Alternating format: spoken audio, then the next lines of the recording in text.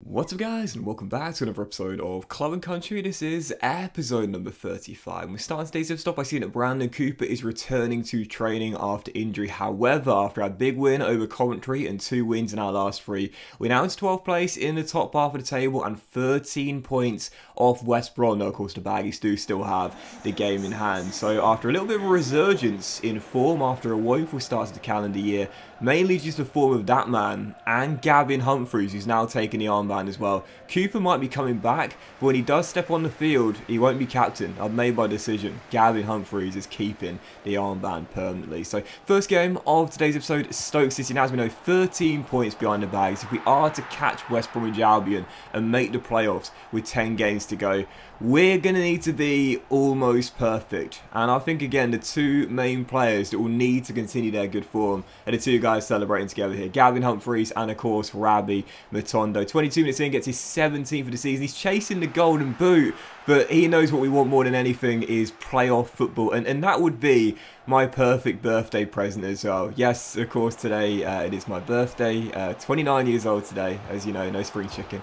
But uh, even so, that's that that would be my perfect birthday present. Playoff football. That's what I want come the end of the season. After a really good start, I almost gifted Stoke a leveler. Nick Powell, Robin, Lloyd Payne. Do not ask me what I was trying to do there. I mean, I was dilly-dallying on that ball for so long, I was asking for trouble. Powell robs me, and thankfully Price bails me out. But three minutes after the restart was a really, really action-packed game here against Stoke City. Aims get our second goal. You know I can't defend one of the worst defensive teams in the division. That's one of the main reasons why we're not in the top 10 right now. But we can score and we can continue to see these two players just absolutely on fire and in sync. Rabbi Matondo gets his brace connected with a great Gavin Humphreys through ball. My two players this season. I think Rabbi has been slightly better, slightly more important, but Gavin as a 16 slash 17 year old, I mean seriously, you couldn't really ask for much more from the guy that's now become club captain. So an hour in, still leading by two. Stoke will get themselves back in the game. Brilliant finish there after a lovely first touch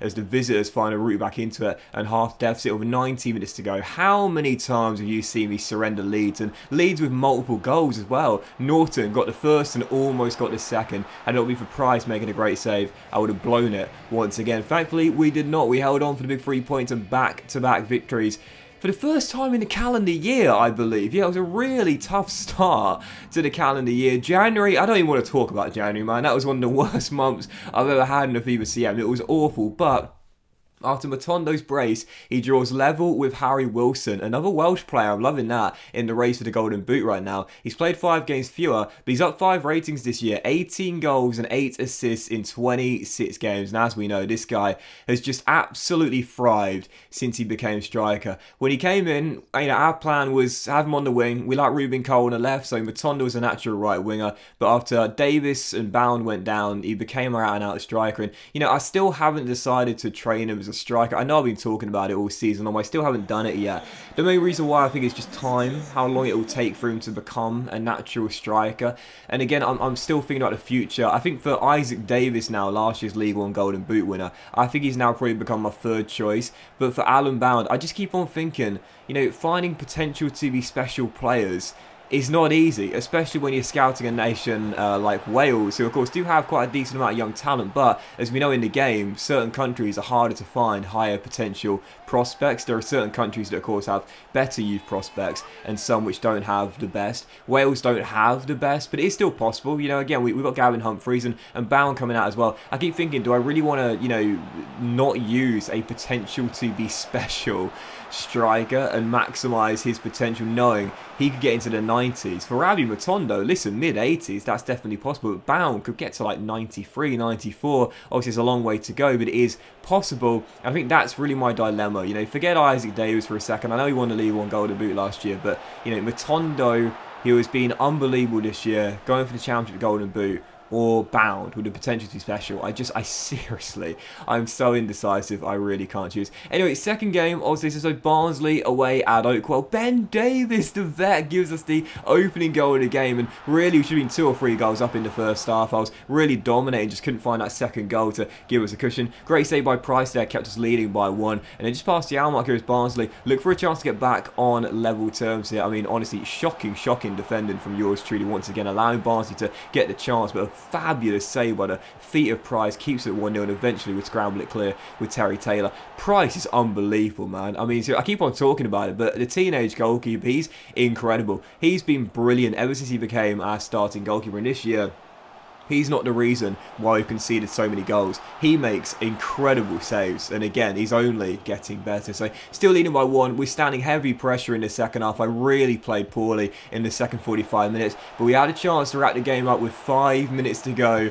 and it was that youngster off the bench, Alan Bound, who's giving me the dilemma in what to do in the striker position. I love the, the bug celebrations while just running around like a headless chicken. But Bound comes off the bench, wraps up the three points, and again, it just gives me that real dilemma Bound or Matondo. I just cannot decide because Bound's going to take a long time to get good, but we know this guy has the potential to be special. So back-to-back -back wins, three straight, and Newport County have cut the gap on West Brom to seven points. Yes, back-to-back -back defeats for the Baggies. We cut it to seven. Now, it is true they still have the game in hand. They still have the far superior goal difference, and luckily for them as well we're going to have six players missing for the fixture against West Brom away. Can you believe that? How typical is that? Yeah, players going away on international duty, Rubin Colwill, Dylan Levitt, you know, several of our first team uh, squad going away on international duty with Wales. They're only going to miss one fixture, and it's the biggest game of the season. How typical is that? West Brom away at the Hawthorns. Right now, faltering, stumbling a little bit, away at the Hawthorns, and we're going to miss six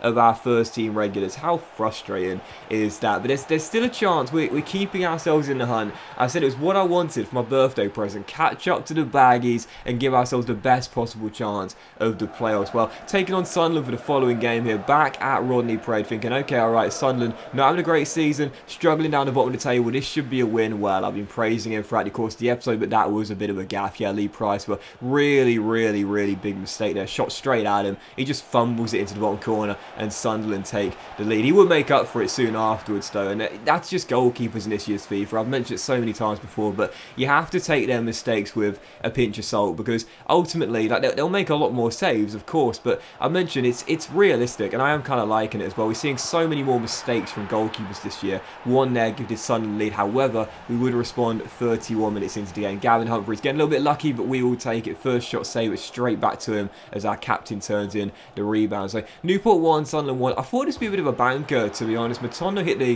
post just past Yalmar, but after big wins in our last two games, I really thought we'd come through this one against the struggling Black Cats with a pretty simple victory. Instead, it was nothing like that. I didn't get that many chances in the game, not too many clear-cut ones, and our final one came with three minutes to go. Rabbi Matondo outpacing his men down left-hand side, stepping in field, but again, a good stop keeps it at 1-1. So, yeah, disappointing slip up there, and I mentioned at the start of the episode, really, if we are to make the playoffs, we need to be almost perfect, and you know, in the championship, it's just such a competitive division, and it means even when you're taking on teams that are towards the bottom of the table, it's still very, very tough to come through at times. And as you can see, that draw there keeps the gap at seven.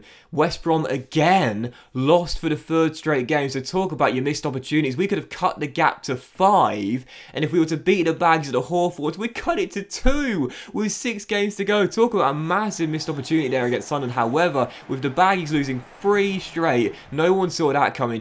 Hawthorns, yes, we were missing six of our regular first team starters, including Price, including Matondo. I still felt as though, after no defeats in our last four and three wins in our last five, we had a golden chance here to get the win and really put the pressure on West Brom and cut it to four with six to go. The Bags had the first chance, Ben Brereton Diaz, Chile fan favourite, firing wide as it was still nil-nil. And in 25 10 we had our first chance coming on the break. Gavin Humphreys, a lovely ball roll to beat his man. What a brilliant through ball to the man who's so good they named him twice. And Lloyd Lloyd smashed it into the top corner. I've been really liking this guy on the right wing. He doesn't always get involved in our goals or assists, but he's very clinical when going through one-on-one and gives us the opening goal at the Hawthorns. And I was thinking, okay, here we go. If we win this, the gap cut to four and the pressure on the Baggies would be relentless after four straight losses. But right before the break, sucker punch. Baggies get back on level terms. Lovely through ball and a great finish past our standing goalkeeper Simmons.